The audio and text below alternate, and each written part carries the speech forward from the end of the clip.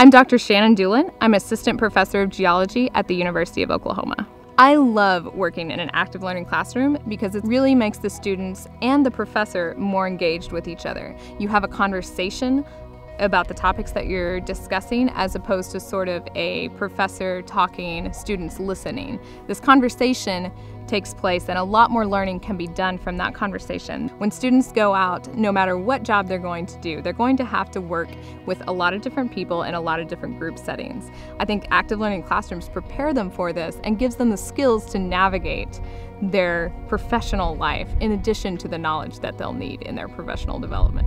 I feel like when you're working in a group, um, you're responsible for not only yourself but everybody else in the group. And I think that that's similar to what we would be doing in the workforce.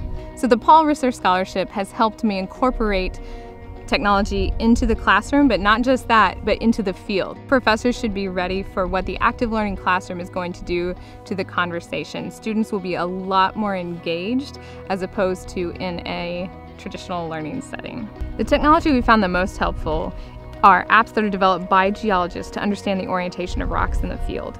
Usually we use compasses to do that, and we still do that, but now we can use our technology across all platforms in conjunction with the compasses. You literally set the compass and the iPad on a rock, and you can understand the orientation of the beds better than you could maybe just using the compass.